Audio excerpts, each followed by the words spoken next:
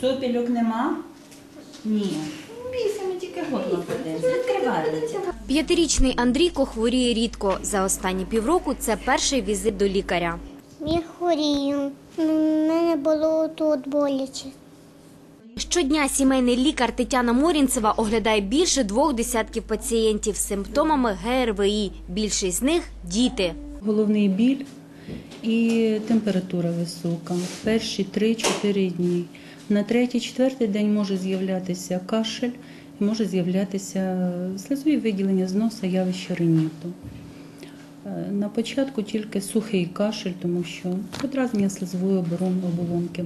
Зі слів лікаря, за останній тиждень кількість хворих зросла на 15%. Медики кажуть, віруси нині підступні і можуть викликати значні ускладнення. Це й ураження легень, центральної нервової системи, серця та нирок. Та й розпізнати невидимого ворога важко. За результатами лабораторних досліджень, які проводяться е, вірусологічною лабораторією, поки що вірус грипу ми е, із матеріалів, які були відібрані в хворих людей, ми не ідентифікували. Це в певній мірі бентежить медиків ще гірше, якщо люди починають лікуватися самі, замість як викликати додому фахівця.